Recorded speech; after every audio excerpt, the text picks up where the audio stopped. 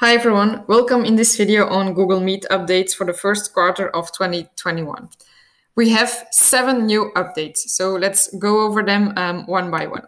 First update is that you will have more video feeds now. So regardless that you're using um, Meet within Gmail or the standalone app, Google opt for one UX only. So this means that on your iPhone your, or on your mobile phone, you're even um, able to see up to eight video feeds and on um, iPads or tablets, just like on the web, you can see up to 48 different video feeds um, on your screen. So this is all an improvement. So just that you can keep track with who's in the call, who you're talking to, and see the rea reactions from everyone um, in the call. So just one aligned UX, that's the most important one to remember for this. Then moving on, the second one is that you can end the meeting for all at once. So this is um, very easy because often or sometimes people still uh, stay in the call or are muted and have no idea that the call ended. So you can just, as the organizer, end the meeting for everyone at once. And then uh, related functionality is that you can as well mute all participants at once. So um, from the fact that you are organizer of the event, you have these functionalities available to just mute everyone at once um, so to have more control as a host in the meeting, which is needed sometimes.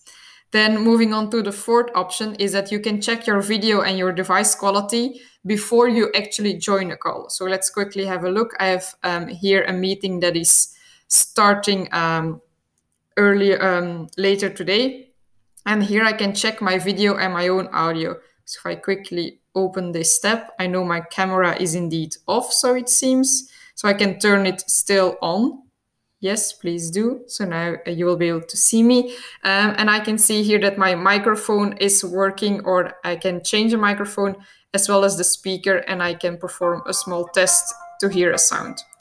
On the left side, you see as well um, the banner indicating the audio that is available in this session and you can just click next if you want to actually start joining the call.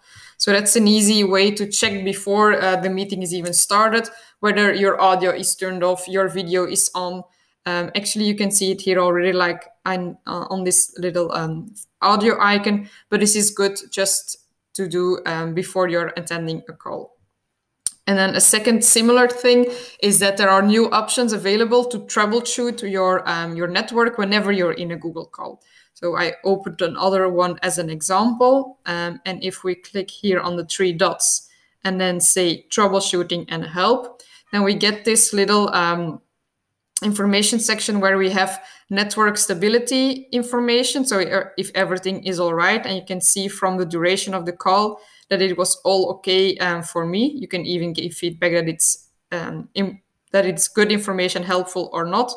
Um, and the system load this is just giving you some additional information on the um, actually the effort that your device needs to organize this meet or to have this live meet session. So this is the CPU usage is actually what your device is needing, what the, what yeah what effort it's needed uh, in order to run the meeting. So you can see sometimes it's going more up. It's like it needed um, 50% of the effort of my device to to run this specific call. So this is very important for you to access during a call whenever um, you see that your network is uh, that you're losing connectivity, etc. You have a separate help section which directs you to some Q and A's as well. So all of that just to help you, the end user, um, to understand better yourself. What is it, or what are the reasons that your um, session at this moment in time might um, be disrupted or might experience some issues?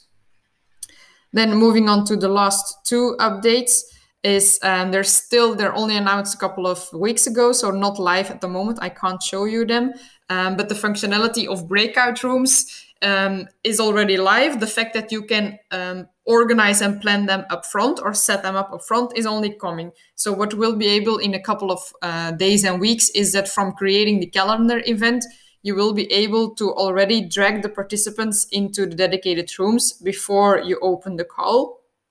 Uh, so this is all the preparation and administration work can be done up front.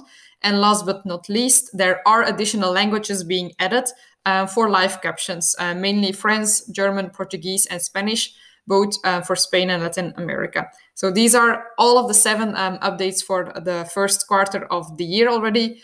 I'm looking forward for the, these last two and already looking forward for the ones of Q2. Have a nice day.